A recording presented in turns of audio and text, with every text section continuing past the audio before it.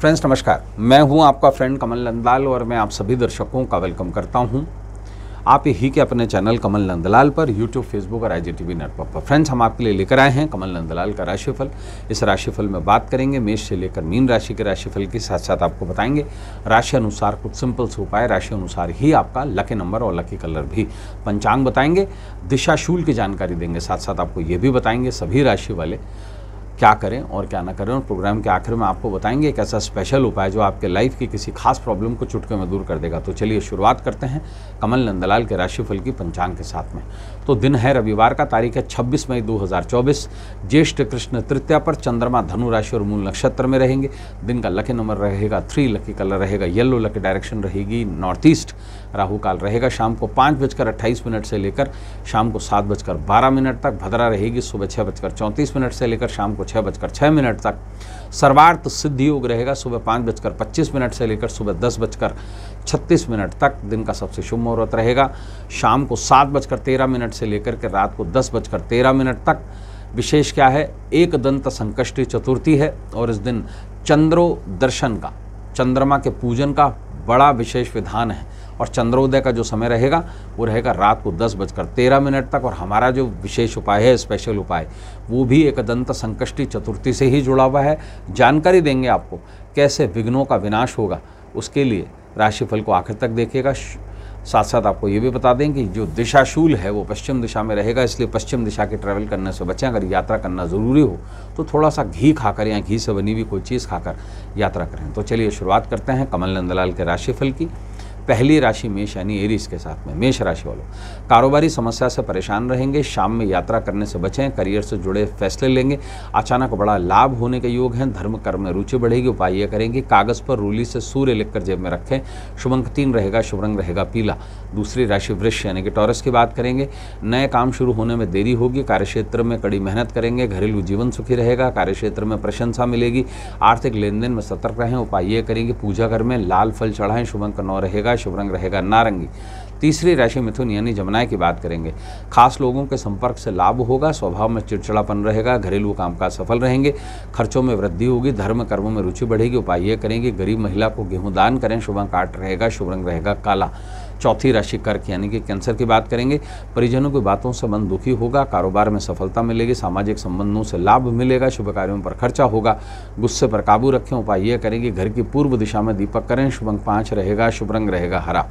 पांचवी राशि सिंह, यानी कि लियो की बात करेंगे, व्यापार में बड़े मौके मिलेंगे, कारोबारी सफलता मिलेगी, कोई खुशखबरी मिलेगी, पढ़ाई में आ रही बाधाएँ दूर होंगी, कामकाज में तारीफ़ मिलेगी, उपाय ये करेंगे, जायफल सिर से वार कर जला दें शुभ चार रहेगा शुभ रंग रहेगा नीला। छठी राशि कन्या, यानी वर्गों की बात करेंगे, अध्यात्म में रुझान बढ़ेगा, धन लाभ के योग हैं, परिजनों का सहयोग मिलेगा, निजी संबंधों से लाभ होगा, कानूनी मामलों में सफलता मिलेगी, उपाय यह करेंगे, सिक्के पर रोली लगाकर दान करें शुभ अंक आठ रहेगा शुभ रंग रहेगा काला। सातवीं राशि तुला, यानी लिब्रा की बात करेंगे। कारोबारी विस्तार के योग है, नई योजनाओं से लाभ होगा, दाम्पत्य में मधुरता आएगी, घूमने फिरने की योजना बनाएँगे खान पान पर पूरा काबू रखें, उपाय ये करेंगे, हरे पत्ते पर शहद लगाकर जल प्रवाह करें, शुभ अंक नौ रहेगा, शुभ रंग रहेगा नारंगी। आठवीं राशि वृश्चिक, यानी कि स्कॉर्पियो की बात करेंगे, हर काम बहुत सोच समझ करके करें, व्यापार में कड़ी मेहनत करेंगे मिले जुले मिले हुए मौक़ों का लाभ उठाएँगे। फिजूल खर्चों से बचें, कारोबारी क्षेत्रों से सतर्क रहें, उपाय ये करें कि मस्तक पर लाल चंदन से तिलक करें शुभ अंक तीन रहेगा, शुभ रंग रहेगा पीला। नवी राशि धनु, यानी सेजिटेरियस की बात करेंगे। सेहत पर पूरा सेहत का पूरा ध्यान रखें, संतान से सुख प्राप्त होगा, वाहन खरीदने का मन बनेगा, कारोबारी संबंध अच्छे बनेंगे, पिता के सेहत में सुधार आएगा, उपाय ये करें कि इच्छा अनुसार खजूर खाएँ शुभ अंक छः रहेगा, शुभ रंग रहेगा गुलाबी। दसवीं राशि मकर, यानी कि कैप्रिकॉन की बात करेंगे। रुके हुए कामकाज पूरे होंगे, संबंधों में मजबूती आएगी, कारोबारी यात्रा सफल रहेगी जीवन साथी के साथ में घूमने फिरने जाएँगे, उधार के लेन देन से बचें उपाय ये करें कि लाल शेड के कपड़े पहने, शुभ अंक दो रहेगा, शुभ रंग रहेगा सफ़ेद। ग्यारहवीं राशि कुंभ, यानी कि एक्वेरियस की बात करेंगे। कारोबार में तरक्की मिलेगी, अचानक धन लाभ के योग हैं, नई संपत्ति खरीदने की संभावनाएँ हैं, धर्म कर्म के प्रति रुझान बढ़ेगा, कोई शुभ समाचार की प्राप्ति भी होगी, उपाय ये करें कि लाल पेन से हराम लिखकर पर्स में रखें, शुभ अंक दो रहेगा, शुभ रंग रहेगा सफ़ेद। बारहवीं राशि मीन यानी पैसेस की बात करेंगे। व्यवसाय में सफलता के योग हैं, धन निवेश से बचें, रुके हुए घरेलू कामकाज पूरे होंगे, विदेश से लाभ के योग हैं। छात्रों का पढ़ाई में मन लगेगा, उपाय ये करेंगे, पूर्वमुखी होकर ह्रीम का जाप करें। शुभ अंक छः रहेगा, शुभ रंग रहेगा गुलाबी। तो दोस्तों, अब समय है ये जानने का कि सभी राशि वाले क्या करें और क्या ना करें। सबसे पहले बात करेंगे, सफलता पाने के लिए सभी राशि वाले क्या करें।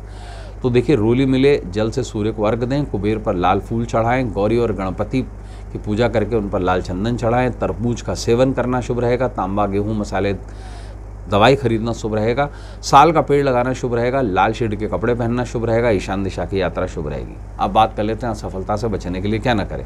तो देखिए, अत्याधिक गुस्सा ना करें, मसालेदार भोजन ना करें, अत्याधिक लाल मिर्ची का सेवन ना करें, लाल कपड़े ना पहने, परिवार की अनदेखी ना करें, समुद्री नमक का दान और उपयोग ना करें, पश्चिम दिशा की यात्रा ना करें। तो दोस्तों समय है। आज के नामांक स्पेशल आज के स्पेशल उपाय का, वो स्पेशल उपाय जो विघ्नों का विनाश करेगा। खास दिन है ये ज्येष्ठ महीने की, कृष्ण पक्ष की चतुर्दशी है और ऐसे में एक दंत गणपति के पूजन का विधान है। तो विघ्नों के विनाश के लिए क्या करें आप? गणपति का पूजन करें, एक दंत गणपति का और गणपति पर चार लड्डू का भोग लगाकर ब्राह्मणों को दान कर दें। और इस पूरे प्रयोग में एक विशेष मंत्र का जप करें। मंत्र है, ओम एक दंताय विदमहे वक्रतुंडाय धीमहि तन्नो दंती प्रचोदयात। आश्वस्त करता हूँ आपको, सभी विघ्नों का निश्चित विनाश होगा। तो दोस्तों, आज के लिए बस इतना ही। कल आपसे फिर मुलाकात होगी। इजाज़त दीजिए। नमस्कार, नमः